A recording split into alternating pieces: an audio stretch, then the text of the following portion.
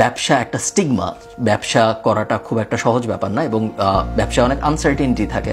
এবং এই কারণে যেটা হয় সেটা হইল গিয়ে আমাদের ব্রেইন চেষ্টা করে সবসময় সেফ পথগুলায় যেতে। আমরা যেই পথে আগালে আমরা ঠিক জানি না আমাদের কীরকম সফলতা আসবে, ওই পথে আমরা যেতে ভয় পাই। এরকম আমি অনেক দেখেছি এবং আপনারাও দেখেছেন আমি শিওর যে এই রাস্তায় যদি আমি যাই, তাহলে আমার এটা একটা ফিক্সড চাকরি, আমি মাসে তিরিশ হাজার টাকা পাবো কথার কথা।